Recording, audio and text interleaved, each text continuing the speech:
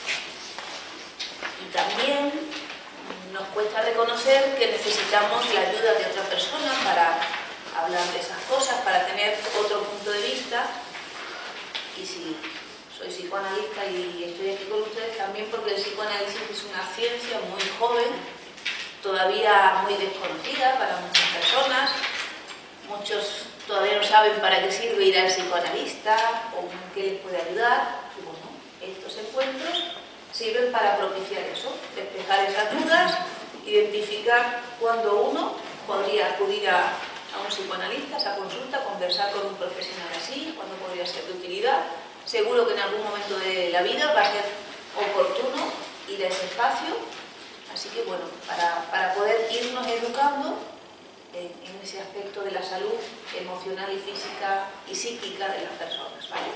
Entonces, si hablamos de conflictos familiares, afectivos, ¿qué preguntas se les vienen a ustedes o qué les gustaría preguntarme? O si han venido aquí, ya tienen ahí un, ¿no? hasta blog de notas, es decir, que tienen algunas preguntas. Aquí me tienen. ¿Cómo solucionar problemas? ¿Qué problemas? Oh. Todos. Todos. Pero los adolescentes yo creo que todos son problemas. Ajá. Falta de respeto, no admiten normas, por lo menos hablo de mi, caso en concreto. Bueno, eso nos hace pensar que nosotros, que, bueno, aquí hay un jovencito que todavía no es adolescente, pero no será, que es un tiempo de la vida, uno va creciendo, todos éramos pequeñitos y hemos ido creciendo, ¿vale? Es maravilloso crecer y aprender cosas. Eso nos recuerda que no nacemos hechos. Es decir, que eso de gen y figura hasta la sepultura, no. Uno nace vacío y todo es aprendido, todo. Uno no deja de aprender, uno siempre va a aprender a lo largo de su vida, uno es mutable constantemente, uno parece que es irrespetuoso y puede aprender a ser respetuoso, todo se puede aprender. La adolescencia es un periodo más de nuestro crecimiento.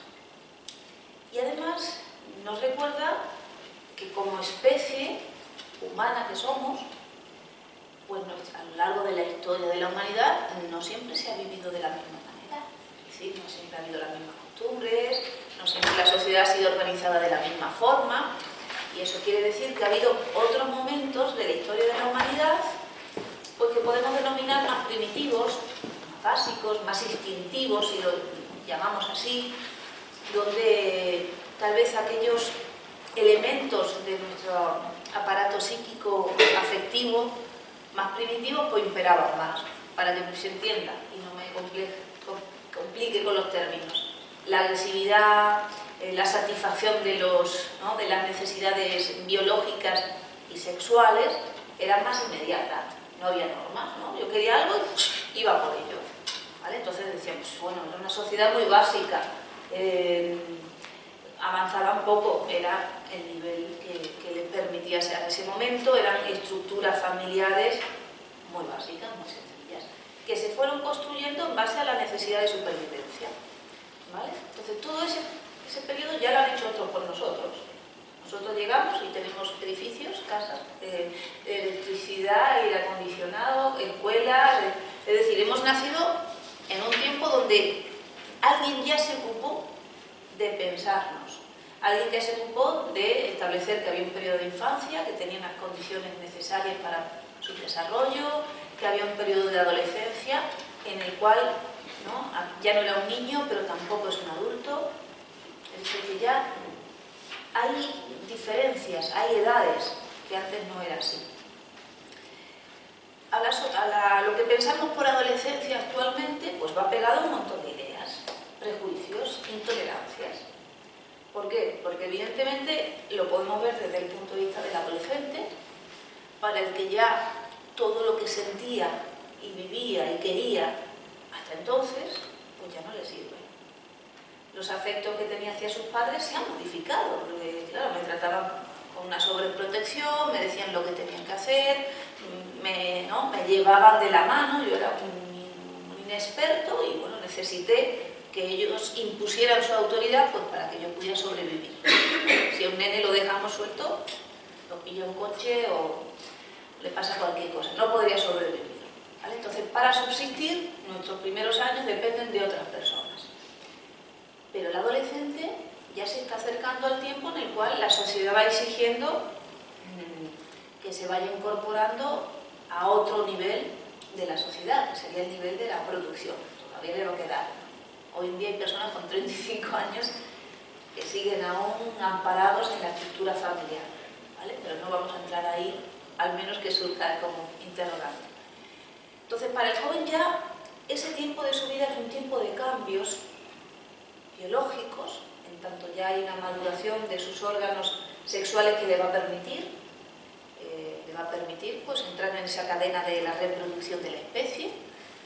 Ya, no va a ser, ya va a tener que cumplir ciertas exigencias de la especie, y a nivel familiar cambia toda la estructura. Eh, no podemos, no seríamos adultos si siguiéramos amparados en la estructura de nuestros padres, bajo, ¿no? el ala de los padres, imagínense. No, no, habría evolución social ni individual si siguiéramos así.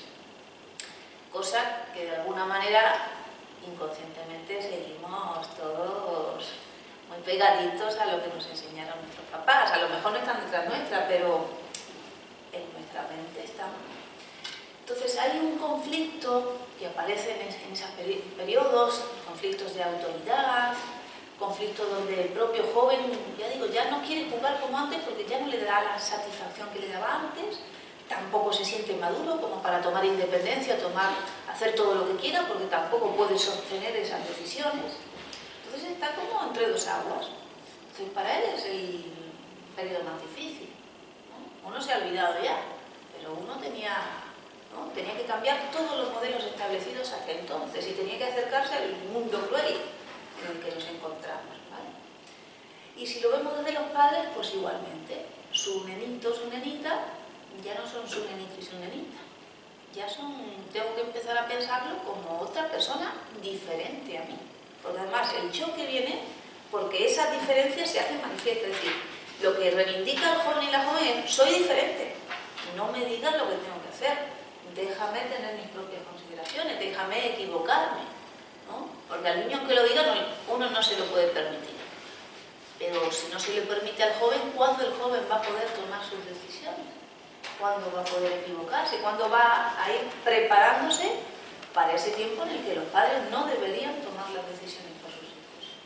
Entonces, claro, para los padres supone un relevamiento de esa autoridad, adquirir un, papel secundario que ese hijo de alguna manera desplace ese lugar central que tenían los padres para él, lo desplace hacia los amigos o las primeras relaciones amorosas que aparecen ya ahí.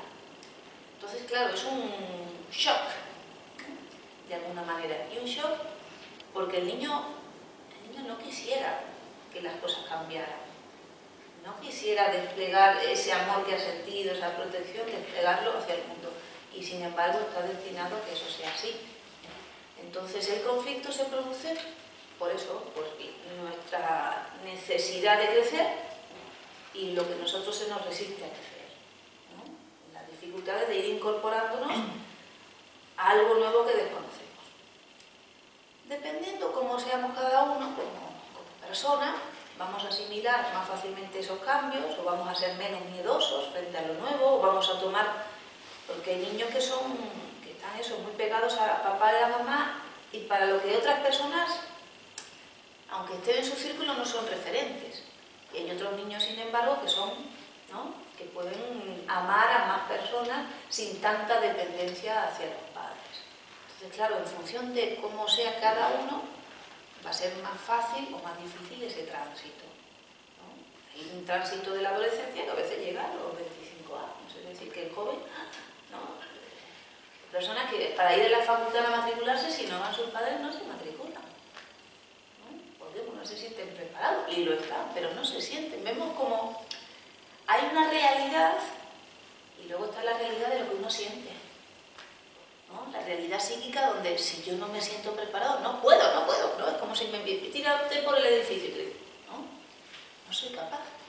¿Por qué? Porque me falta la confianza en mí misma, porque pienso que eso va a cambiar todo lo que, ¿no? Mi mundo, como pasar del colegio al instituto, del instituto la universidad, la universidad al colegio, son todo cambios que te hacen que tu vida dependa de ti. Entonces, lo, en sí no es un conflicto crecer, pero tiene que estar acompañado de palabras. Para crecer son necesarias las palabras. Y son necesarios entender que una cosa es lo que los padres dicen y otra cosa es lo que el niño, la otra persona recibe y procesa y entiende y acepta y piensa. Es decir, que tengo que empezar a aceptar que mi hijo pueda opinar diferente a mí y eso no tenga por qué ser un conflicto, que empiece a tomar decisiones que a lo mejor yo entiendo equivocadas, pero que tendrá que tomar decisiones equivocadas para ir forjando pues, su propia vida, porque va a tener su propia vida. Y luego también prestarle ayuda que ya no solo papá y mamá van a ser los que le tengan que ayudar, es que a veces tiene que entrar un agente externo a poder ayudarle a hablar de la relación que tiene con los padres que no es con esos padres reales, que pueden ser buenísimos, sino con los padres ¿no? que uno establece sus afectos. la dificultad es separarse de esos primeros afectos que uno establece para que empezar a interesarse por el mundo. Que en principio el mundo no hay nada familiar, ni el mundo me espera, ni el mundo me va a cuidar. Entonces tenemos que entender eso como un periodo de transición que necesita las palabras y cuyos conflictos van a depender de la dificultad que tengan de separar esa célula tan unida durante tanto tiempo y que en muchas ocasiones no quiere romperse, por parte de los padres y por parte de los hijos. Hay padres que entienden que, que aceptan esa separación porque tienen otras cosas de las que ocuparse, otros deseos, tienen... y hay padres para lo que ese desprendimiento es una pérdida, un dolor, ¿no? ya no me quiere como me quería, ¿no? claro, te quiere diferente. Para los padres también es cambiar de hijo o de hija. Bueno, hay que ayudar a los padres y a los hijos a atravesar ese bonito momento de la vida, que también es un momento de descubrimientos y que a lo mejor ahora nos dice, ay, volvería a esa juventud o ese deseo de las primeras experiencias. Bueno, claro que es bonito. Pero ahora a uno le tocan otras nuevas experiencias que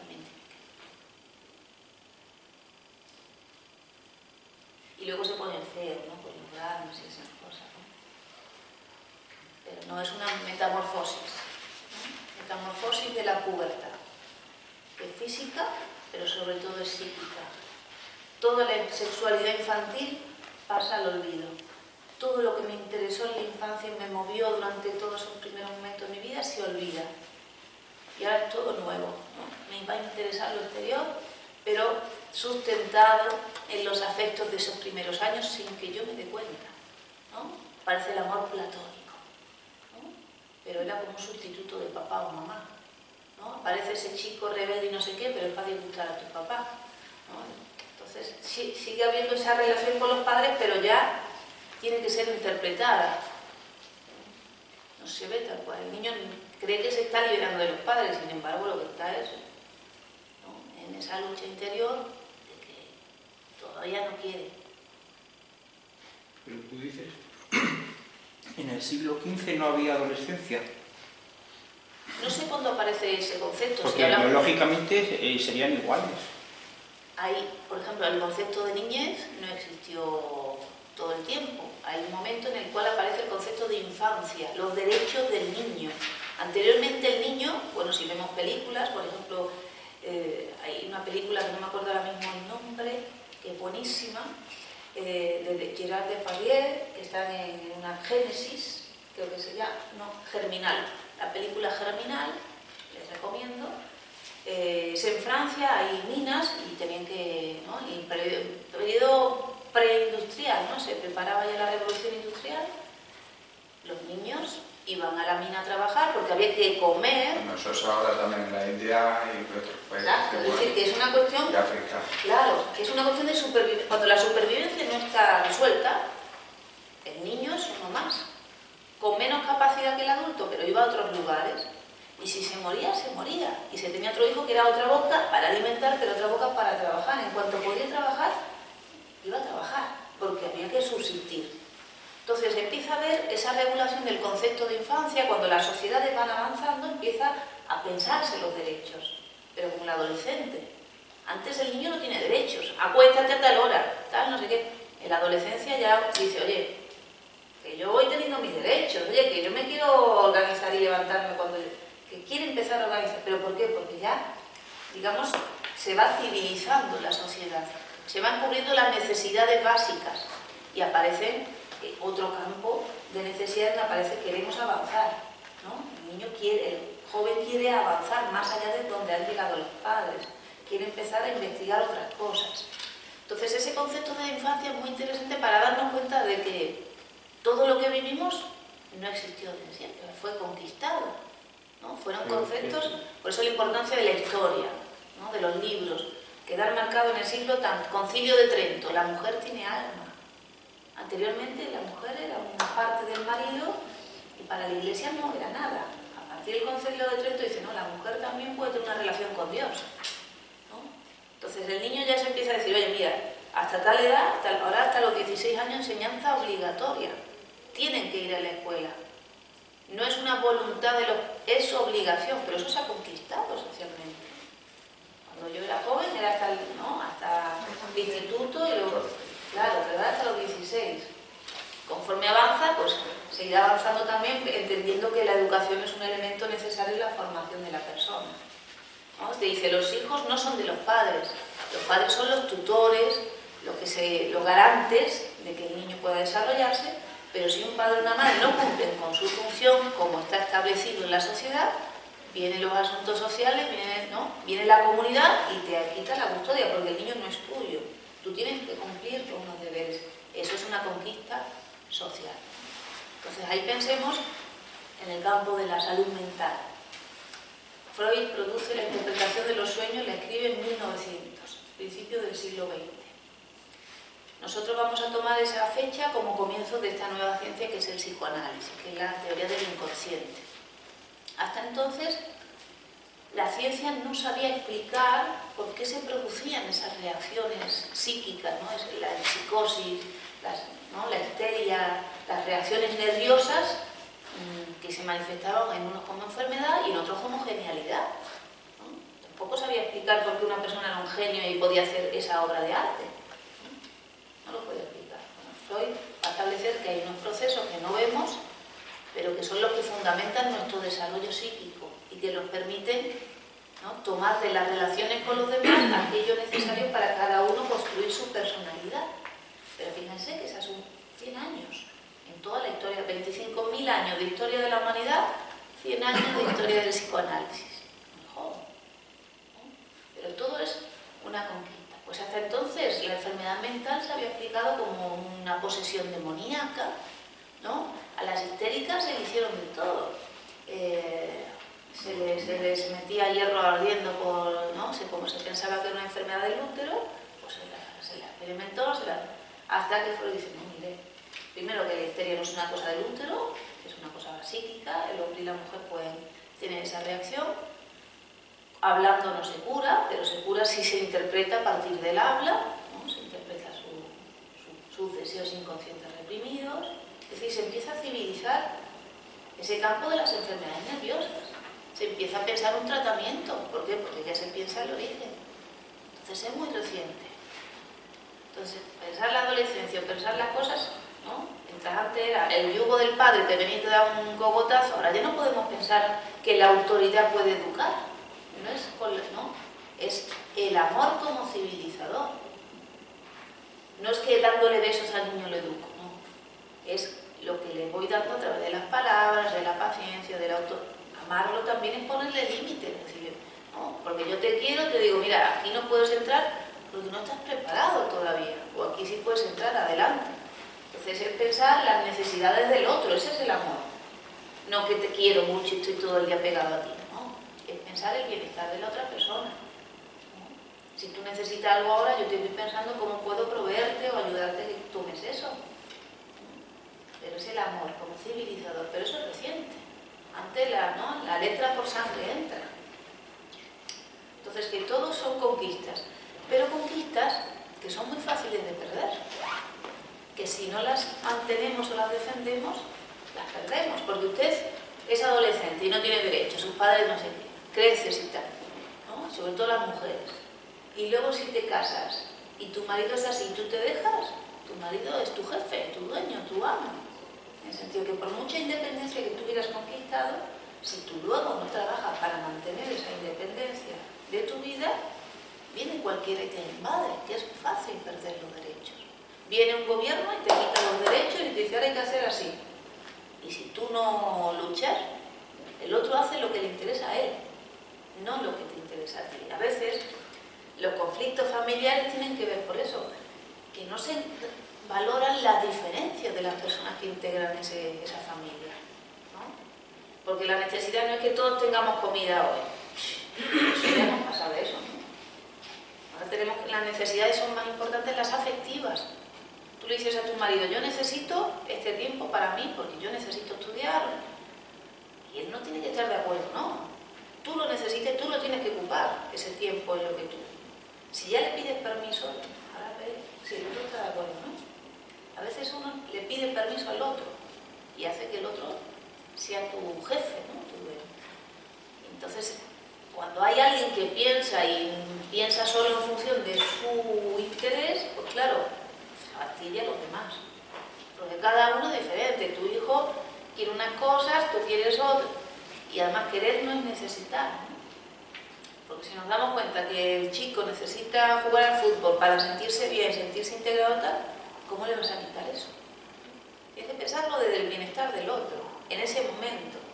Si tú necesitas irte con tus amigos, porque ahí hablas, ahí no sé qué, te sientes bien, te da autoestima y tal, por mucho que tu pareja quiera estar contigo, si tú pierdes eso, pierdes ese bienestar. Y es un sacrificio que haces para estar con tu pareja, pero no hace bien a la pareja, porque te has hecho mal a ti. Entonces son cosas que uno no se da cuenta. Veces en el periodo del enamoramiento uno hace concesiones, pero luego es muy difícil revertir esas concesiones se te olvida que tú te lo pasabas muy bien con esa persona, o que tú estudiabas esto, o que tú eras... La conducción lo vemos también. Te echas un novio, ahora conduce siempre él. Y la tipa parece tonta, ¿no? Es que esas cosas pasan, ¿no? O en la economía familiar. Pues no, cada uno tiene una economía. Pues debería tener una economía porque cada uno... Si no, el dinero de quién es. La familia piensa para la familia, pero ¿y la mujer? ¿Quién piensa en la mujer o quién piensa en el hombre? ¿O quién piensa en el niño? Entonces ahí es interesante ver cómo cada estructura eh, debe tener en cuenta, para no ser em, tiránica, las diferentes miembros de la estructura. Y eso tiene que ser a través de la palabra, a través de la civilización, de la detección de las diferencias. a colación de lo que ha dicho la compañera, nosotros queremos a nuestros hijos adolescentes, lo van a ser en mi caso todavía, ¿no? ¿Y cómo le dices el móvil, tema móvil? Pues supongo que por ahí van las cosas, tema cuando se quieren ir con los amigos y tema drogas, tema botellón, tema esos temas. Tú quieres lo mejor para él, pero ¿qué puedes hacer para que no entren esos derroteros? Dentro de que ha habido una educación previa para que no vaya por ahí pero te ves un poco, como bien dices, con las manos atadas de que sí, palabras, una, eh, comprensión, etcétera, pero claro. ¿cómo, ¿cómo lo hace? Porque como bien dices, ha cambiado mucho. En la historia, en la Edad Media no había droga ni había, había otras cosas, pero eso no, ni móviles menos. Entonces hay que adaptarse a lo que hay hoy en día. Entonces es- los padres también nos vemos Bueno, y, muy que na- atados. y que nadie te ha enseñado a ser padre o madre. Eso es, esa es otra. Luego uno dice que... Pero es interesante, es interesante. Primero, porque tiene un gran mérito ser padre, ser madre. Es decir, hay- es un trabajo que haces para la sociedad. Es un trabajo que haces también para mí, ya que esos hijos van a trabajar también para mí, para ti, para tal. Es decir, que si no hubiera repuesto, no íbamos para adelante. Vamos para adelante porque hay una parte de la sociedad que genera ese trabajo de repuesto, de ese futuro que vamos a tener. Eso te exige un sacrificio personal a ti. Hay una parte de tu egoísmo personal que tú dices, bueno, lo cedo para la especie, ¿no? lo cedo para construir ese núcleo familiar. Porque podríamos decir, para satisfacerme no hace falta estar en pareja o en familia. Yo me puedo divertir con muchas otras cosas. Justamente la familia no es lo que es fuente de diversión, pero sí es fuente de otras muchas cosas, de realización personal, ¿no? de, trabajar para, ¿no? para eso que somos humanos. Entonces, claro, eh, cuando, cuando uno asume esa nueva función, no desaparece el hombre y la mujer que somos, nuestros deseos personales. No debería desaparecer. No deberíamos abandonar esa persona que tanto tiempo nos ha llevado a construir y hacer. Porque luego se va a quejar si no lo tenemos en cuenta. Se va a quejar de diversas formas. En la consulta yo me encuentro con las quejas. en la salud, en las relaciones, en el amor. Entonces, un niño tiene que ser pensado desde el momento que nace. Es decir, que al principio parece todo amor, cariño, entrega, tal, tal. Pero me tengo que ir dando cuenta de que ese amor como civilizador, ya dije antes, no era solo el cariño, los besos o darle los juguetes, era irle enseñando en el mundo en el que va a vivir. Un mundo donde los demás no le van a amar o querer o tener en consideración si eres egoísta, si él no sabe hablar con los otros y respetar a los otros. Es decir, que en tu familia puedes crear un tirano, porque le das todo y luego el niño... Pero es que en la vida luego va a venir el castigo. Entonces está bien darnos cuenta de que uno también tiene que limitar la entrega en función de la educación, es decir, pensar lo necesario para ese niño. Irle mostrando el concepto de trabajo. No es como antes lo entendíamos de los padres, de niño tienes que trabajar. No es de ese orden, sino entender que al igual que aprender una lección y hacerle examen, que al padre parece que lo que le importa es que apruebes o que saques la nota, tendríamos que destacar el concepto de trabajo. Lo importante no es tanto la nota, sino como que se aprenda la lección, que, ¿no? que aprenda a leer, que se va... El trabajo necesario para. Esa es, la verdadera herencia que nos tienen que enseñar nuestros padres en esos primeros años, porque luego todo va a depender de esa capacidad que tengamos, de ocuparnos nuestra energía en hacer algo, en conseguir algo. Porque si no, por nuestra cara bonita no nos van a caer las cosas del cielo. Entonces, a veces, como padres, fallamos en esa labor. ¿no? Nosotros hemos conseguido los medios necesarios para proveer y le damos al otro, y le proveemos, ¿no? Y le ponemos la, ¿no? la- todo el día dándole, dándole, dándole, y al final lo convertimos en un poco inútiles. Es decir, en obesos, de, de- de no haber podido dar un paso para conseguir algo, de no tener nunca una necesidad, siempre se lo damos todo. Entonces hay algo que desde pequeñito nos tenemos que ir dando cuenta de que un cierto grado de insatisfacción o frustración es necesario. ¿Para qué? Para que pueda también tener, porque si no el niño está entregado a los padres. Y el niño lo que tiene es que aprender a separarse de los padres, aprender a buscar en otros lugares sus fuentes de necesidad.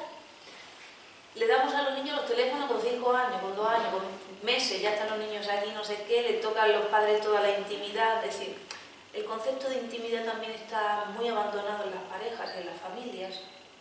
Metemos a los niños en la habitación familiar, en la cama de los padres, en la ducha, en las conversaciones. Los padres dejan de salir y tener tiempo para ellos. Entonces hay cosas que uno las ve normal, que las va haciendo, pero es que luego van a tener consecuencias. Porque si tú no estableciste límites, ¿cómo lo vas a establecer luego? Si decimos que la fuerza genera agresividad, si tú vas al adolescente o al joven le pegas o le pones, para el niño ya era un perjuicio para su educación, pero para el adolescente el que lo va a responder con agresividad. Entonces no es el camino. El camino de los límites y del respeto se ha ido estableciendo previamente. Es una relación social, tendría que entenderse, la relación de los padres y los hijos. No eres mi hijo, es una relación social. A ver, ¿no? ¿Qué piensas? Que Tendría que poder ser una relación en la cual él te llegue a respetar como la persona que también ha construido eso para él. Pero si se lo das todo no es respeto. Él ya siente que es así, que su derecho es ese. Entonces, por ejemplo, hay cosas que el niño tiene que aprender a respetar. Ya tendrá tiempo de tener su teléfono y para qué lo va a usar. Pero si tú se lo das de pequeño, pues, ya digo, si el espacio que es íntimo de la pareja, no solo por las relaciones de la pareja, sino hay cosas que los padres hablan en la cama.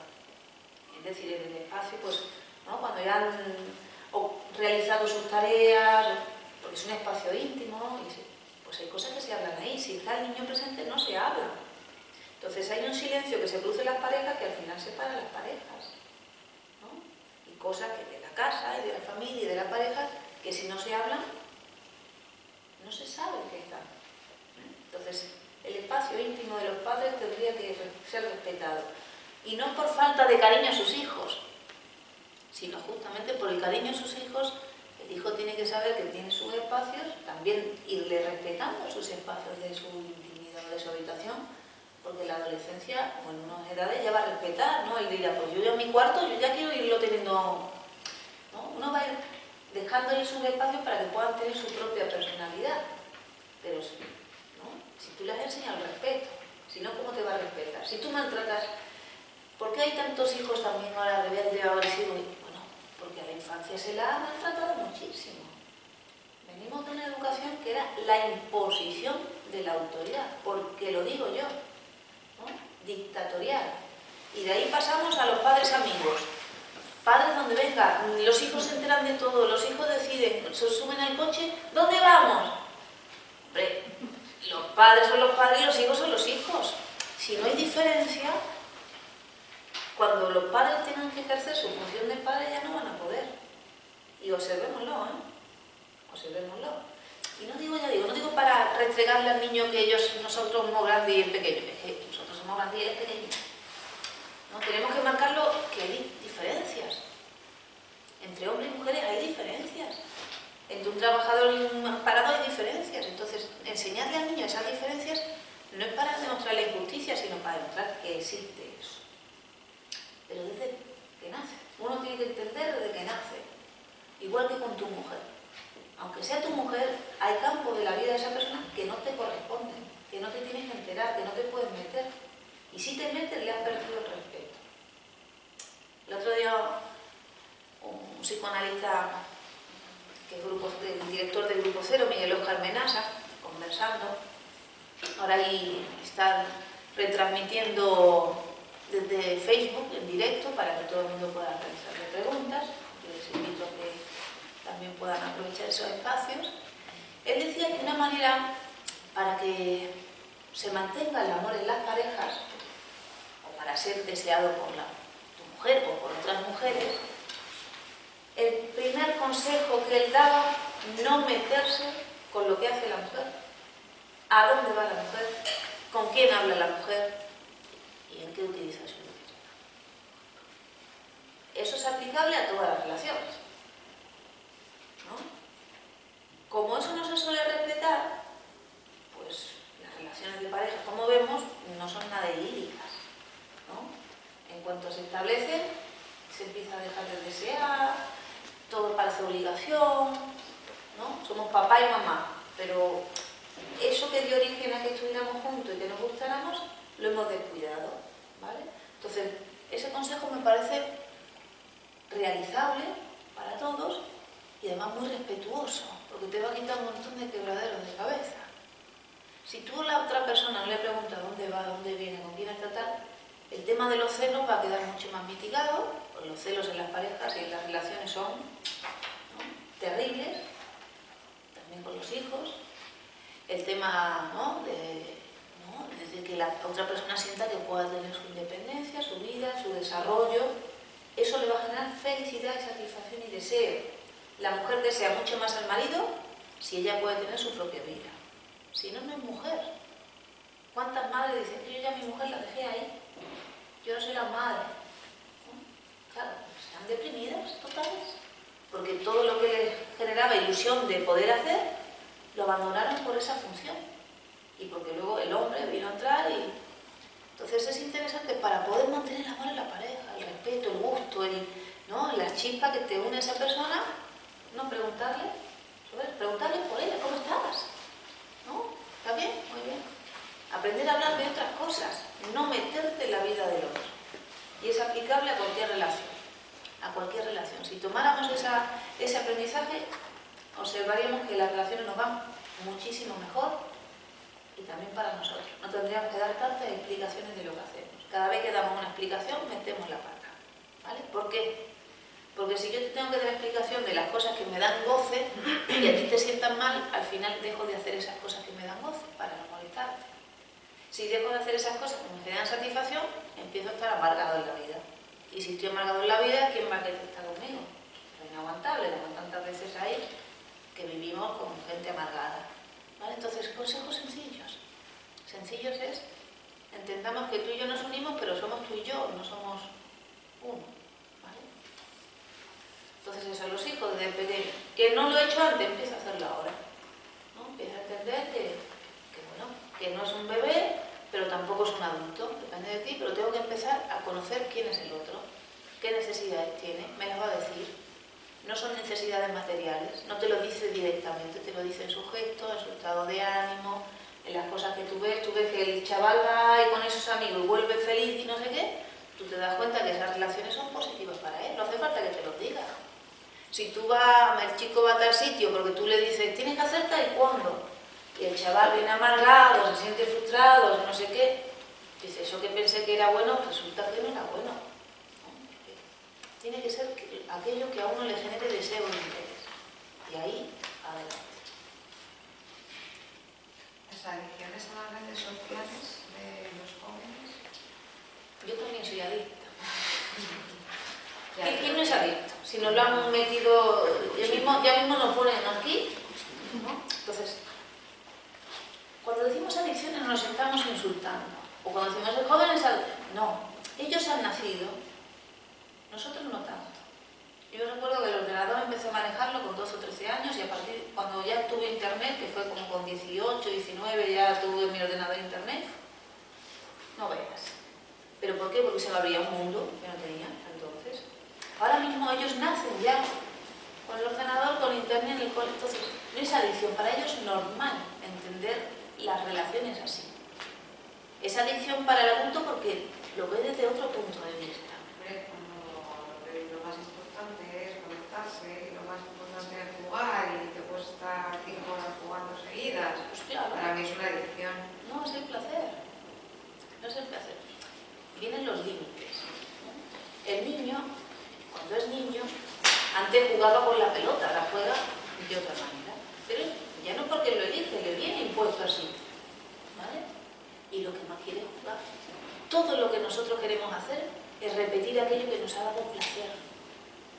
¿Vale? Pero claro, ¿qué ocurre? La educación, la sociedad nos dice, oye, que tú no te puedes quedar toda la vida haciendo lo que te da placer, o que tienes que ir a estudiar, que tienes que ir a trabajar, ¿no? Todos. Si no viniera algo exterior que te dijera, tú harías lo que te diera la gana y que lo que te da la gana es siempre pues, lo, más egoísta, lo más sencillo. Lo primero era jugar. En principio jugar fue un gran aprendizaje para el niño, porque jugaba a ser mayor, jugaba a ampliar el círculo familiar que estaba, jugaba con los clips, jugaba con no sé qué, jugaba no sé cuánto, jugaba en red, juega con otros.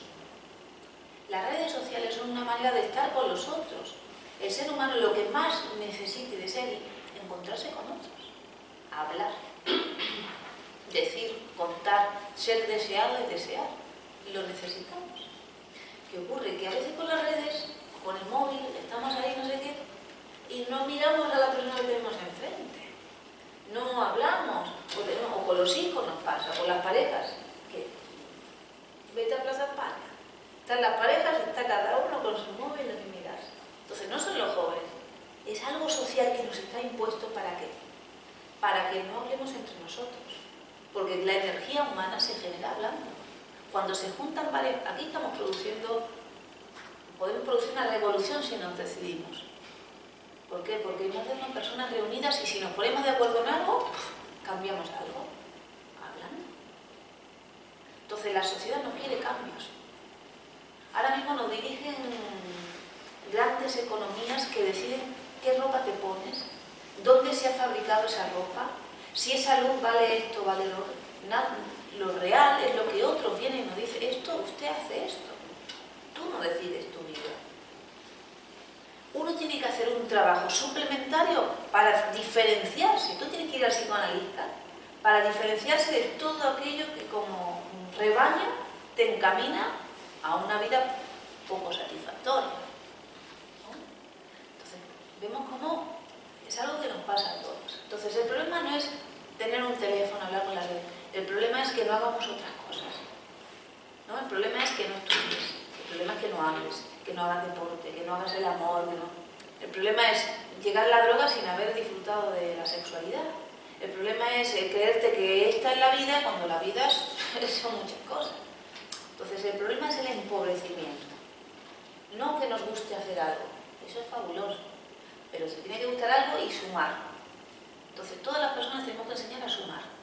¿Te gusta la red? Vale, pues también te gusta salir, también te gusta leer, también. Entonces hay que ayudar a los jóvenes y a nosotros mismos a que nos guste sumar. A que ahora conoces, hoy conoces a un chico maravilloso y ya se te olvidan tus amigas, se te olvidan. No, no se te olvidar. Tienes que aprender a tener un tiempo para ese chico, pero sin abandonar todas las demás cosas. Entonces eso es lo más difícil, porque uno se entusiasma con algo y abandona. Yo tengo que estar para recordarte que que tu riqueza es sumar. La riqueza de ese joven es sumar. Entonces, no está mal las redes sociales, para nada, sirven para un montón de cosas. Hay cosas que ya nos gustaría a nosotros usarlas con la rapidez que ellos lo usan. Pero el problema es que sí se empobrecen porque no saben hablar, no saben escuchar. Bueno, eso se aprende. Entonces, uno tiene que aprenderlo uno y a la vez enseñarles a ellos que tienen que aprender lo que el goce de, no, no es lo mismo, un encuentro personal que uno virtual son diferentes. Entonces no hay que empobrecerse, hay que enriquecerse. ¿Vale? Entonces simplemente recordar eso, que avanzamos como sociedad, pero no tenemos que ser borregos. Tenemos siempre que trabajar uno para, para aprovechar todo lo que esté a nuestro alcance. Todo lo que hay muchas cosas a nuestro alcance, no solo las que nos hacen ver desde ese campo consumista o desde ese campo social de modas. Porque si uno se deja llevar solo por esa idea, uno no piensa. Lo que nos pasa a la mayoría. Le digo que el trabajo que hacemos nosotros en las consultas es para que cada uno pueda tener su diferencia, su individualidad, su vida, construir su vida. Ustedes saben el trabajo que cuesta cada uno construir su vida. Un montón. Sí, porque, por ejemplo, ¿cómo haces que sumen? ¿no? Que dices tú, hay que dejar que sumen. O sea, a lo mejor eres, como ya no de adolescente, sino a lo mejor un poco más mayor, ¿no? Que has tomado ya tu propia decisión, que ya tienen tantos años, tal cual, y tú, como padre, ves que, mm, bueno, o, crees que no es eh, lo adecuado. ¿Y cómo haces que sumen? ¿Dejas que mm, se sigan equivocando o, y con eso pues, van a ir a, un aprendizaje? Por ejemplo, eso que decías tú, ¿no? A lo mejor se creen muy mayores para ciertas cosas, pero luego son incapaces de ir a la facultad y, y, y matricularse. Entonces, para eso sí te llaman. La postura del padre en esa situación, ¿qué haces? Eh, ¿Acompañas o dices, bueno, como ya eres muy mayor y has tomado tus decisiones, o sea, las consecuencias que traen sus actos, una vez que los toman, como padre, ¿dónde, dónde te sitúas? Acompañas, dejas que se equivoquen, dejas Mira, que el mejor padre... o sea, el, el, hijo se frustra porque te pide ayuda y tú no se la das porque a lo mejor entiendes que dices, bueno, vale, si tú has tomado esa decisión, sigue adelante. A ver, Evidentemente no vas a dejar que se tire por un pozo si lo ves tan sumamente claro, pero no sé si me explico lo que quiero decir. Y si ves, y luego unido a eso, lo que dices de el sumar, porque a lo mejor ves que están pues, en una actitud pasiva o tal, pero que ellos han tomado ya decir, no, voy a sumar yo, yo hago, yo tal, pero estás viendo que dices, bueno, que eres mayor, pero en cuanto te asfixias un poquito, ya estás, ¿no? Mm, como consultando qué hago, no sé qué, ¿sabes? O que me quedo sin transporte, una cosa que dice, bueno, si has tomado una decisión, decisión tal, ¿dónde, o sea, los padres dónde nos situamos ahí? Vale, es muy interesante. Por un lado, entrar a preguntarles a quién, eh, quién ha tenido un padre o una madre que haya estado de acuerdo con lo que tú hayas hecho. Eso está claro que se ve cuando, cuando pasas a ser padre. ¿no? Punto Es cuando te das Y además, está de acuerdo, o es un padre maravilloso, muy tolerante, que respeta toda la diferencia de sus hijos, Mm, normalmente no suele ser así, eso, ¿no? La mayoría de los padres que tienen unas ideas prefijadas sobre el bien y el mal, mm. ¿vale? Pero claro, la vida de cada uno es nueva. Entonces, claro, es como si ahora queremos ir al siglo XXI con las ideas del siglo XV. Ya el XV ya se ha vivido, ya está. No se puede borrar esa historia en nosotros, pero tenemos que producir la novedad del siglo XXI, ¿no? Tenemos que conocer eso y aceptar que haya cosas que no nos gusten y aceptar la dificultad, pero valorar la novedad. Claro, y ahí también con la, con la última fase de tu pregunta pensaba, digo, claro, es que a veces los padres quieren ser muy prepotentes. Perdón, no, no por el sentido que a veces hay funciones que ya el padre, su mejor enseñanza es dejar que otra persona cumpla esa función. Y pensaba en el psicoanalista. O- otra persona, eso, quiero decir, otra, no, no el propio hijo, sino una persona eh, ajena, externa. Claro, que yo sé, familia. yo sé que para los padres, yo también fui una joven, yo con 16 años empecé mi psicoanálisis. Y vamos, lo recomiendo para los jóvenes, me parece maravilloso. O- Se puede llegar a cualquier edad, ¿no? Pero me parece genial también para poder tener otro espacio para uno construirse y poder no tener siempre. Es que claro, depender siempre de papá y mamá para hablar es como pensar que tu marido, por ser tu marido, es un ingeniero eminente. Cuando no es ingeniero, tendrá sus opiniones, como todos tenemos opiniones de las cosas. Pero eso no quiere decir que sean las mejores, porque sea tu ser querido. Y a veces el tema de los padres y los hijos, por ser los seres queridos, los que más se quieren, no se permiten que otras personas influyan o ayuden o orienten. Próximamente ni siquiera orientan nada. Lo único que le permite al otro crecer, que pueda construir su vida. Claro, yo entiendo que para los padres eso es ceder un espacio en sus hijos para que puedan ser. Pero un verdadero padre es aquel que cede el hijo a la sociedad. No, Ceder a que y la sociedad van a vivir lo mismo que vivimos nosotros, las vicisitudes de la vida. Pero claro, cuando uno es padre, uno es egoísta. Pues dice, mi hijo, ¿no? No quiero.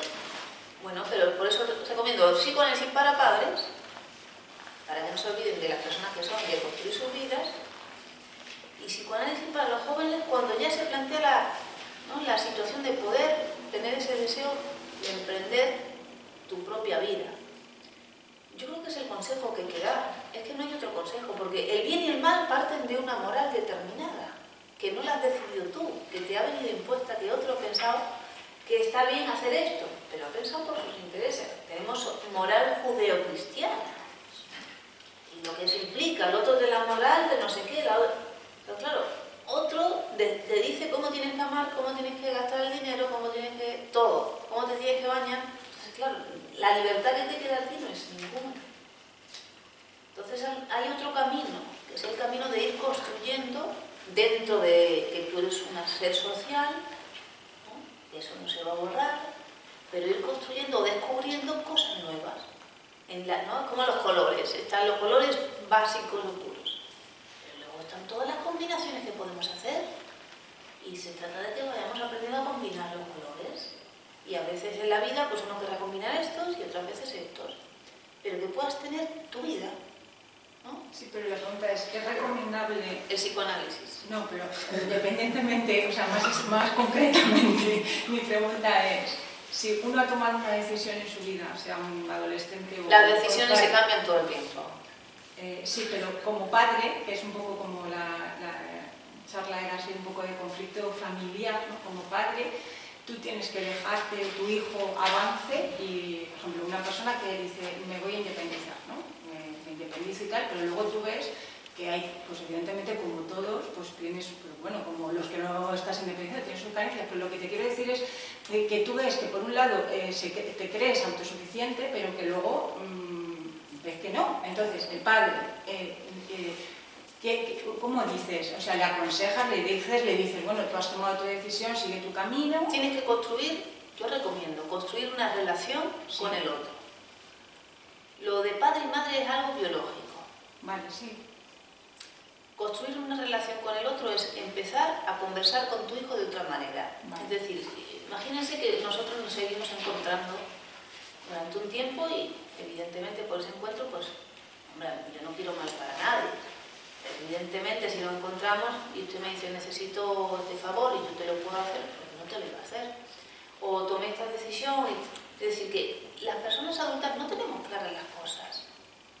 ¿Cómo se le había pedido a un joven o a un niño tener claro? Uno tiene un deseo y prueba y le va bien o le va mal. Estamos todo el tiempo construyendo caminos, cambiando. Les dije antes, somos mutables. Y eso es el carácter humano. Que no nos pidan que tengamos las cosas claras, porque eso no es. Eso no es. Si ayer te dije blanco, hoy te puedo decir negro. ¿Por qué no? Sí, pero, pero, pero me puedes decir negro, pero si las consecuencias. ¿Qué Siempre, sí, consecuencias? hay todo cambia, todo cambia. Bueno, todo cambia, pero mientras cambia sí, existen unas consecuencias. Usted no tiene por qué, usted no tiene por qué hacer algo que no esté de acuerdo. Si usted piensa que para usted no es beneficioso eh, transigir, que uno le tiene que mostrar a sus hijos que además de ser único eres una persona, tú también tienes tus criterios, tú también te equivocas o tal, y hay momentos de eso que tú dices, a mí me sobra un poquito, ¿y por qué no te lo voy a dar? Pues te voy a ayudar. Si los jóvenes, todos necesitamos ayuda. ¿Cómo le vamos a dar a los jóvenes y más en estos tiempos que, que corren? Pero no tiene que ir en contra de tus criterios. Porque si van en contra de tus criterios, eso que va para bien no es para bien. Luego lo vas a someter. Entonces el peligro a veces de la ayuda es que luego uno quiere tener un poder sobre el otro. Y eso es lo perjudicial. ¿No? Entonces, eh, la verdadera ayuda es aquello que yo te doy y no te voy a pedir. Ese es el amor. Te doy, pero no te pido nada a cambio del amor. Eso es beneficioso. Porque además le enseñas que hoy le ayudas tú, pero a lo mejor mañana le va a ayudar a otra persona. Porque lo importante es que, que tu hijo aprenda a tener personas para las cuales él está dispuesto a hacer algo y que pueden hacer algo por él, porque no va a necesitar en la vida la ayuda de otras personas. Entonces lo bueno es eso, que uno construya en la vida, ¿no? no la dependencia hacia la familia, sino la interdependencia hacia otras personas. Y si tu hijo necesita ayuda y te lo pide, tú tendrías que estar orgullosa de que aprenda a pedir. Y aprende, ¿no? y aprende a ser generoso porque algún día le va a tocar dar a otro, como uno fue ayudado. Pero ya no de tanto de esa obligación de padres a hijos, porque uno a veces lo, lo hace por esa moral del bien y el mal. No, hazlo en base a otros criterios diferentes, más adultos, más civilizados, que a lo mejor no es tu hijo y ves a otro joven, y si tú consideras que merece la pena ayudar a ese joven, lo puedes hacer. Porque si no es muy egoísta, le ayudo porque es mío. ¿no? Le ayudo porque merece la pena ser ayudado. Es otro criterio más social. Pero si quieres trabajar la responsabilidad, que yo creo que lo que quiere decir, quieres trabajar la responsabilidad y le estás diciendo, eh, yo creo que si te independizas, pues a lo mejor no vas a poder llegar a fin de mes porque hay que pagar la luz, el agua, quedarte mejor con nosotros, pero no lo estás haciendo porque quieras que se quede contigo, sino porque ves tú como adulto que has tenido una experiencia de vida que con esos recursos que tiene no va a poder hacerlo. Entonces eso cómo se trabaja a través del psicoanálisis, o sea, si te llega un padre y te pregunta eso, Por ejemplo, ¿Cómo si, se trabaja? si pasara eso, digamos que pasara, primero tendríamos que preguntar, ¿y dónde ha crecido este chico que no se ha dado cuenta que el dinero no venía del cielo en esta familia? Algo sus padres intervinieron en que ese hijo naciera entre algodones, ¿no? Por ejemplo. Porque tu padre que iba a pasearse todos los días o iba a trabajar. Eso te lo, lo vas mamando desde jovencito. Entonces, hay alguna transmisión que no se ha dado en casa. ¿no? Porque salíamos a la mañana, nene, voy a trabajar, a ganar el pan para tal. Es decir, que si hay un principio de realidad en casa, lo hay desde el principio. ¿No? Lo hay, ¿no? Administración del hogar, pero el niño tiene que saber eso, que, que no somos magos, somos trabajadores. Entonces ahí aparece el concepto de dinero. Y más allá de que él, él puede sobrevalorar su capacidad, o puede decir, voy a trabajar, permitido equivocarse está. Todos, tenemos, ¿no? Podemos equivocarnos, si no sería una tiranía. Pero claro, ese dinero tiene que aparecer desde, desde que nacemos, desde que, ¿no? Todo la- ¿Para qué? Para que les mostremos que somos personas, que somos trabajadores, que no somos ricos. Hay quien piensa que, ¿no? Yo también fui una niña mimada. ¿Y ahora qué pasa? Que nazco de la realeza, que mis padres no se... No, entonces que, que a veces nos educamos así. ¿Por qué? Porque como siempre lo que pedíamos nos lo daban, pero nos lo daban porque podían, se lo permitían. Que cómo le, le aportemos a otro las cosas, también el otro va a ir construyendo, porque hablamos de esos jóvenes que quieren y no pueden. Y porque no hablamos de esos muchos otros que se han pagado la carrera universitaria trabajando, que ayudan a sus padres en casa. Porque eso no genera conflicto. Ay, eso no, Pero que existe, claro que existe, claro que existe. Claro que sí. Entonces, pensemos cada caso en la individualidad. Que.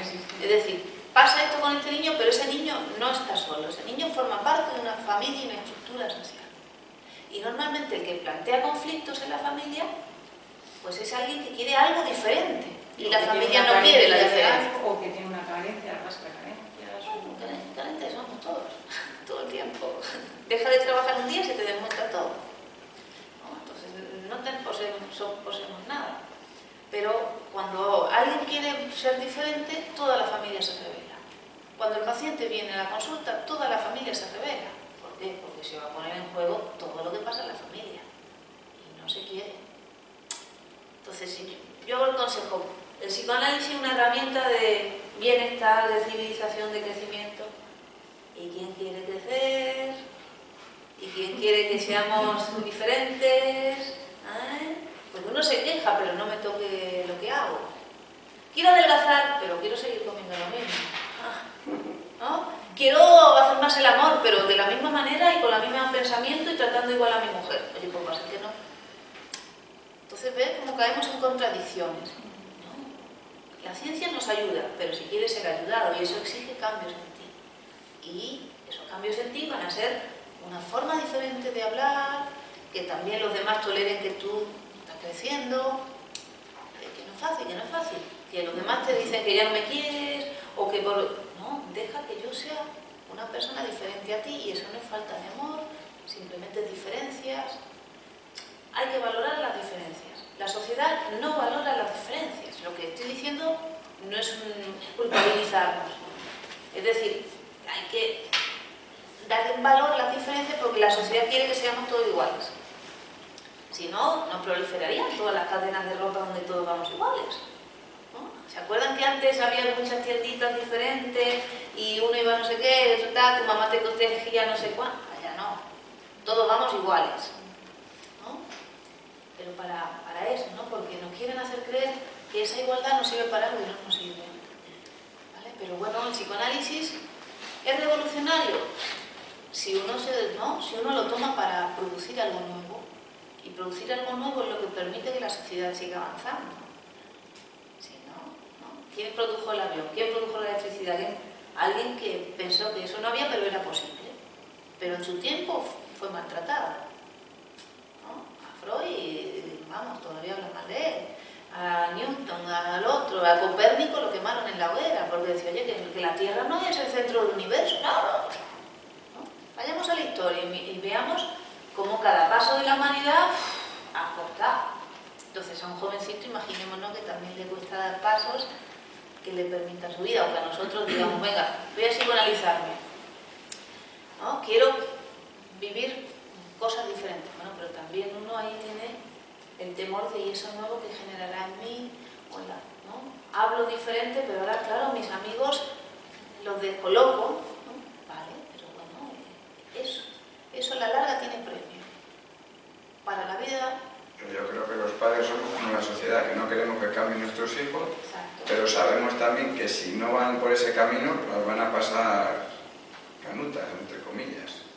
Tanto a nivel económico como si se van con amistades que no les conviene, como si se van con personas que tú ves que, que cambian, es diferente a lo que es la sociedad, pero si se van con esa gente o se van económicamente hablando y no tienen los suficientes recursos y demás, mm, van a salir adelante porque al final todo se sale, pero que se van a llevar un castañazo y que, y que la van a pasar mal, prácticamente lo sabes porque tú has, has estado antes. Claro. Y la Pero sociedad- interesante y también. la sociedad somos nosotros, no queremos que cambie. La sociedad, estoy de acuerdo totalmente que no quieren que cambie. Pero si te sales, paro. Claro. Si te sales, paro. Entonces, quieres que vayas por ahí porque quieres que a tus hijos, como los quieres, no les den Pues palo. hay que mandar a todos los padres psicoanalistas. Pero ¿Por digo qué? que no porque pensamos la mayoría, yo pienso, vamos, yo- Pero tú piensas desde, ni siquiera desde tu experiencia porque se te ha olvidado cómo eras antes. ¿no? Se te ha olvidado que tú pasaste por ahí también. Tú estás tan aplanado ya por la sociedad que te crees que siempre has pensado lo que piensas ahora y es mentira. Pasa que ya te has dejado guiar por esos pensamientos. Y luego, y el camino de cada uno lo forja cada uno. Entonces la vida que tú tengas te la vas a forjar tú. Y la vida ha podido pasar. Yo conozco personalidades geniales que han estado ¿no? con, guerrilleros, que han estado con, no sé qué, que han estado luego con no sé cuánto. Y son personas que cualquiera se cambiaría por tener una vida así. Es decir, que no es por el camino que ya he establecido que es el mejor camino. Esa era la vida de tu padre, la de tu padre. La tuya es nueva y tú la tienes que hacer para saber cómo ha sido. Solo después se sabrá cómo es tu vida. Antes es imposible decir cómo va a ser la vida de alguien. Lo vamos a ver muy claro en un ejemplo. Si ven una semilla, ¿pueden decirme si va a haber un árbol? Puede, ¿no? Puede. Y mucho puede que no. Si hay un árbol, hubo semilla, Sí. 100%. No hay otra manera. Entonces, no podemos decir con las causas que van a pasar esas cosas. Eso es anticientífico. Eso son las ciencias de antes. Te decían, dime todas las causas y te digo todo el efecto. No, no, se demostró que no es así. Dime todos los efectos y reconstruye las causas. ¿no? A partir de ahora puedo decir cómo has llegado a pensar así. Hablamos de probabilidades. No Hacemos- una semilla que la tengas ahí quieta a, a que tenga su agua, La- ya le preparas el la agua, ya le de- la humedad, ya le La probabilidad eso. que quiere decir. Pues Porque se dan unos, unos condicionantes eh, No determina por, por nada. estadística. No determina nada. Si hay un árbol, yo sé 100% que vos.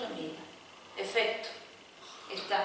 A partir de ti, te psicoanalizo y podemos ver cómo has llegado a pensar así. Y no estaba eso antes. Antes no estaba eso. Este producto no estaba, tú lo has hecho. Entonces, no te voy a decir que tus padres, si te hubieran puesto... No. Ese es producto, efecto. Es que si no negamos el trabajo. El trabajo es el que hace que uno sea lo que es. Todas las relaciones que tú has ido construyendo, lo que no quisiste ver, lo que escuchaste, todo es trabajo psíquico. Entonces, lo que tienes que enseñar a tus hijos es que pueden construir todo lo que se propongan.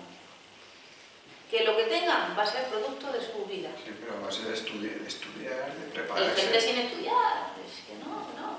Que estudiar es un estándar que está establecido así, pero que hay otras maneras de llegar al mismo conocimiento, al mismo punto. Más difícil a lo mejor, pero ¿y si él lo quiere hacer así? Confía en él. Hay que aprender a confiar en las demás personas. El problema es que no confiamos en nadie. Que tú le dices, esto va a ser así, va a ser así. Claro, tu frase verdaderamente es la que determina que el otro dude a la hora de hacer. Si tú confías en el otro, tú vas a estar tranquilo y el otro va a tener su experiencia y luego hasta puede venir y decir, papá, tenías razón, o papá, no sé qué, o mira lo que me ha pasado. Va a tener confianza de poder hablarte y hablar va a ser más forjador de su vida que que tú le digas, no vayas por ahí. Cuando las experiencias forjan tu vida. Entonces, decir que porque se va con drogadicto hace que sea un drogadicto, es mentira. No, ya lo sé yo que no. ¿no? Hay quien quiere drogarse y quien no quiere. Decir que porque tú usas el móvil vas a ser un tonto mental es mentira. Entonces yo soy una tonta mental. No, depende de lo que hagas. Entonces hay que cambiar algunas ideas que tenemos o aprender otras y sobre todo a confiar en las personas. Aprender a confiar en las personas. Todo el mundo, por eh, la vida que he tenido, si hace algo diferente en los siguientes pasos, cambia. Entonces importan los siguientes pasos. ¿Usted quiere venir a la psicoanalizarse porque quiere sus siguientes pasos algo diferente? Yo le ayudo. Que hiciste así asado y los siguientes pasos quieres hacerlos diferente para que te vayan mejor, y yo te puedo ayudar, te ayudo. Eso es mucho más positivo para la vida de las personas decirte, ya te lo dije, ves, Pero confiar en las personas a- a- con experiencias previas que no, claro, sí. y- muchas. Lo anterior no determina el pasado. De supervivencia, lo que has dicho Mira. al principio. Confía, confía. Mira, tú puedes tener una pareja y te puede ir de perros. No, hablando de pareja, no, de otro- hay muchos aspectos. En ¿no? cualquier cosa. En cualquier cosa. Eso Tú eres un- Pero en otras cosas a lo mejor, en ¿no? cualquier cosa. Con personas, Tú me médicos. las matemáticas, yo Eh, soy un matado. Bueno, ¿te quieres aprender matemáticas? Y empezamos a hacer las cosas de manera diferente como lo hiciste y puede ser... ¿ves? Es que depende de que haga las cosas de manera diferente. Hombre, sí que es verdad que de personas tóxicas, yo creo que estás hablando, perdón, o sea, Sí, que sí, gente sí. que está a nuestro alrededor, que no sea pareja, ni sea familia, ni nada, amigos que puedas tener, gente que te encuentras, eh, yo qué sé. Mecánico de un taller, por ejemplo. Claro, y es como Confía, también nos ¿no? queremos alejar un poco, eso también es un poco psicoanálisis, ¿no? O sea, es decir, también tienes que detectar qué personas te pueden estar haciendo daño día tras día, o pues eso, mecánicos, y se Bueno, pero eso- acabas súper cabreado porque vas a volver. Eso ya nos llevaría a otra charla. Ser inteligente, eso es ser inteligente No, no. un poco... Ustedes hablan desde lo muy racional, lo razonable. Las personas no nos movemos en estos términos. Nos daría para otra charla en la que habláramos de sadismo y masoquismo. Hay personas que hacen ciertas cosas justamente porque necesitan un mal resultado, necesitan un castigo. Hay personas que hacen ciertas cosas para hacer daño a otra persona. Pero no conscientemente. Pero sí hay unas tendencias inconscientes en uno que van haciendo que eso, que a otro pasó por ahí no le pasó nada y tú, oye, que parece que te vas tocando todas las piedras. Pensemos que cada uno de nosotros tenemos una vida que no conocemos y es la vida psíquica. Entonces, todo lo que nos produce, lo que nos pasa, depende de nosotros. Hay quien puede haber ido a Cancún y haber sido maravilloso y que en el mismo viaje quien lo vivió fatal es la vivencia de cada uno. Como uno hizo con eso. Se me murió mi padre y para mí me destruyó la vida. Y se me murió mi padre y yo hice una vida normal. Entonces pensémoslo así. Porque si no, somos racionalistas y seguimos pensando como pensamos y no avanzamos nada en las relaciones. Y el psicoanálisis es una herramienta que te enseña a pensar de una manera diferente, ¿vale? Que usted dice, pero ¿qué me cuentas? Bueno, eh, descubra ese diferente pensamiento que va a haber, que le va a ayudar a dar otros frutos de lo que está dando ahora, con menos esfuerzo, porque gasta el mismo esfuerzo el masoquista que el que triunfa. La energía psíquica que gasta es la misma.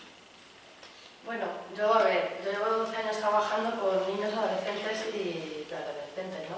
Entonces, eh, tienes que confiar en ellos y yo creo que sobre todo lo que necesitan es eso, pues necesitan un espacio donde quieren crecer, necesitan hablar de sus cosas y todo. Entonces yo creo que hay diferencia entre si algo que es cercano a nosotros, ya sea porque es tu familia, para alguien que tú quieres, a cosas a lo mejor que es que yo voy a un sitio, pues yo creo que en este caso dices, siempre voy a este sitio y no creo que me esté tratando bien en este supermercado, pues porque vas a volver, yo no voy a trabajar, yo soy terapeuta, o sea, yo no voy a trabajar con la dependienta de tal supermercado y voy a seguir acudiendo, o sea, a lo mejor yo cojo y a otro sitio y estoy más a gusto, o sea, que no todo es para trabajarlo ni buscar la introspección de uno mismo, de... No, no, no o sea, yo creo que no todo es psicoanalizable, o sea, que a veces es que tú para No, es que lo que, vida lo que es psicoanalizable es el que se quiere psicoanalizar. y tú eliges, o sea, la asertividad es decir, yo esto no quiero pasar por ello porque es que no, Pero ¿y quién no me es productivo. ¿Pero quién te obliga a Ahí está. Entonces por eso digo que no siempre,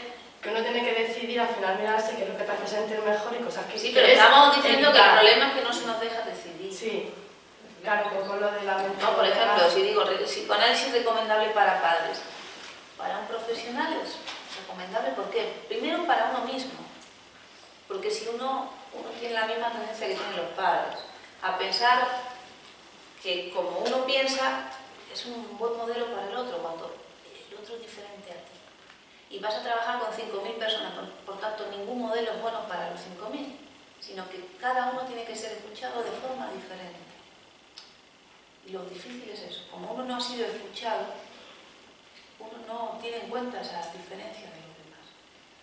Entonces, que, el es un campo novedoso, no es lo que ustedes piensan de darle vueltas al coco, no es que haya un sujeto en la frase, que yo me implique en lo que me pasa. Luego vamos a ver, equivocarse, el que se psicoanaliza se equivoca igual, que no hay una vida rosita, no, pero te procesan las cosas de forma diferente. Pero ¿por qué el niño, el cuerpo del niño crece sin ayuda y la mente tiene que ir al psicoanalista? ¿Cómo que sin ayuda? A ver cuánto gastan en papillas, en pañales, en no sé qué, cuántas... ¿Cómo que sin ayuda? ¿Cuánto dinero cuesta que hacerse Se ese desarrolla, jovencito? pero no necesita cosas sanitarias. ¿Cómo, cómo? Pregúntale cuántas veces la lleva al pediatra. ¿Cuántas veces le has llevado al ¿No? pediatra? Al peluquero, a la gel de ducha, la cremita para el cuerpo, el bocata de calamares, ¿no? Lo físico que requiere cuántos años de trabajo hasta que el chaval se, se lo haga por sí mismo. Sí, pero la- yo digo en adulto ya. A ti todavía le cuesta dinero a tus padres. Pero, pero eh, explica por qué la mente necesita tratamiento para... No, no es tratamiento. Necesita tenerse co- considerada, igual que consideramos el cuerpo, ¿no? La biología, la medicina ha conquistado, ¿no? Ya va, na- eh, eh, detect- detecto el embarazo, empiezo a ir a los controles de embarazo. Es decir, la medicina ya nos ha indicado unas pautas que mejoran eh, la sobrevivencia del bebé y de la madre, es decir, que ya hay un recorrido histórico que ha ido conquistando esas recomendaciones. Que antes se morían mujeres por el parto, pero ni te cuento, bebés. Entonces, ha habido una evolución. En el campo psíquico estoy diciendo que como ciencia que atiende esos procesos es un recorrido todavía joven. A nuestra generación no lo va a ver.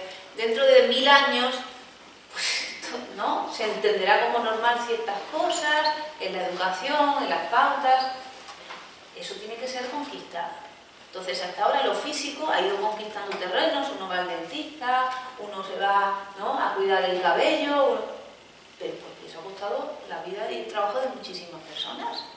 Ahora estamos empezando a recorrer ese otro camino que dice, oye, que además del cuerpo hay ¿no? un territorio que es nuestro alma, ¿no? que es el inconsciente, que no lo vemos, que necesitamos instrumentos teóricos para poder conocerlos, además con cada uno. ¿no? Siempre tiene que ser otra, una persona externa. Un psicoanalista. por ejemplo, tú que eres psicoanalista, que psicoanalizas con otra persona. Bueno, no soy la, única que te puede psicoanalizar. No, bueno, lo que te quiero decir es que supuestamente tú que tienes la for- formación e información de, de los procesos, ¿no? Eh, eh, puede ser, pregunto, puede ser capaz de ver las, las causas de esto o no, o siempre Es es, que una no- persona la externa o es mejor una persona externa la que como lo ve desde otro espacio, No, desde no, otra- es que el inconsciente es un Pero- concepto teórico. Es decir, el inconsciente no está en ningún lado, es como el número 4. Forma parte de las matemáticas. Tú no vas por la calle con el 4. ¿no? Es algo simbólico ¿no? que uno ha incorporado para la gestión de su vida, pero es un concepto, no está. Entonces el concepto inconsciente igual no está, no lo puedes buscar en ningún, ¿no? Te, te el cerebro y no está.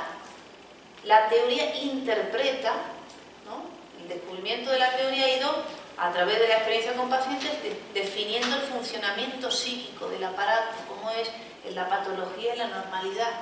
Entonces, a partir de lo que uno va hablando, el psicoanalista construye, interpreta el inconsciente de cada persona.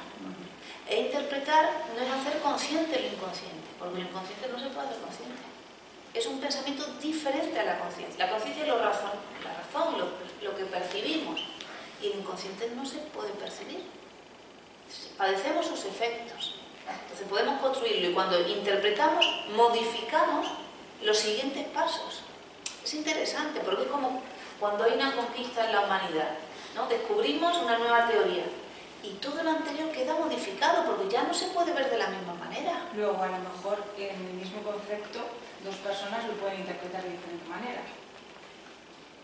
O sea, lo que yo estoy diciendo, tú, tú lo puedes interpretar y puedes ver un- unas cosas y otra persona Pero que la interpretación... también eh, psicoanalista en este Pero es que caso depende lo podría interpretar de otra manera o La se- se interpretación- llega a la misma conclusión. La interpretación siempre es una nueva apertura y depende del paciente, se produce en esa relación transferencial, pero es un proceso que el paciente necesita recorrer. Es una interpretación que depende de su proceso. Lo siento, tengo que ir. Que al final, una hora, pero hora y media. gracias, pues ahí tiene un papelito para el 22, si quiere que nos veamos, Vale. estamos por aquí. Vale, Pero ya gracias. digo, Muchas gracias. que, gracias, luego. que, que nos cuesta entenderlo, pero que igual que hemos entendido ya otras cosas del campo médico, de la, ¿no? de la astrofísica, de no sé qué, de la, bueno, porque ya, ¿no? ya están muy establecidos y plantear algo diferente, lo pero mira, que así no va. Entonces, nuestra mente no puede ahora mismo concebir eso porque nuestra mente nos ha enseñado a pensar las cosas de otra manera. Pero hay una nueva manera de considerar los procesos que nos relacionan. Porque la conciencia está, pero no hay que prestarle demasiado caso. Lo que se le va a enseñar a la persona que se psicoanaliza es eso, que las emociones, los sentimientos y tal, no pueden dirigir tu vida, porque son percepciones, son como la, como la luz, ¿no? Está ahí, pero tus funciones son otras, tus proyectos de vida son otros, no están determinados por, por esos fenómenos, ¿vale? Y bueno, que es un campo interesante que yo les propongo que vayamos conociendo. ¿Y el psicoanálisis trabaja nuestras vivencias o también lo heredado? O sea, ¿cómo...?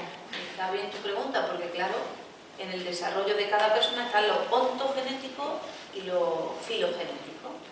Es decir, nuestro recorrido, igual que en la biología, ¿no? Tú dices, tengo estos periodos de maduración biológica comunes como humanos, como hombre y como mujer, a nivel psíquico igualmente. Pasamos por una serie de etapas que están prefijadas en nuestro desarrollo psicosexual como especie, ¿no? donde todo el desarrollo, esos 25.000 años de historia de la humanidad ha ido fijando esas tendencias y luego está la experiencia de cada individuo. ¿vale? Y eso es lo que va forjando tu vida. Que la experiencia mm, no es lo determinante, porque es el proceso psíquico de esa experiencia, lo que tú digas de esa experiencia. Lo más, interesante que Freud nos va a mostrar es que no es el sueño lo que nos importaba, que no es ir a la experiencia lo que nos importa, es el relato que uno haga de eso, que es donde se vuelve a poner en funcionamiento el proceso inconsciente. Porque vamos persiguiendo la vida psíquica, no la vida real. ¿Vale? Es producir un nuevo conocimiento sobre nosotros, que es donde está la energía psíquica, la energía de nuestra vida, que no la sabemos utilizar lo suficiente. Y lo que vamos a descubrir es el potencial de nuestra mente que no utilizamos, que lo tenemos puesto en, ¿no? en afectos anteriores, en miedos, en reprimidos, en lugar de ponerlos pues, para el amor, el trabajo, la inteligencia, que nuestro potencial no lo hemos descubierto todavía de todo lo que uno en una vida puede hacer. Puede vivir varias vidas. Porque el tiempo psíquico no es el tiempo del reloj. Es muy interesante. Hoy no nos vamos a dar tiempo de más. Llegamos al final, me, me estoy pasando ya. Tienen mi tarjeta, me pueden escribir. Entren en YouTube, buscan Elena Trujillo, tienen muchísimos vídeos. ¿vale? Seguro que encuentran respuestas y el próximo día 22 nos volvemos a encontrar. Y la mejor recomendación, pues bueno, que algún día llame un psicoanalista y tenga una hora para ustedes y empiecen ahí a averiguar qué es para ustedes el psicoanálisis, porque para cada uno va a ser una experiencia diferente. ¿no? La vida se compone de innumerables pasos que a veces no sabemos a dónde dirigir. Psicoanalizarse es abrir un espacio en tu vida para vivir mejor los años futuros.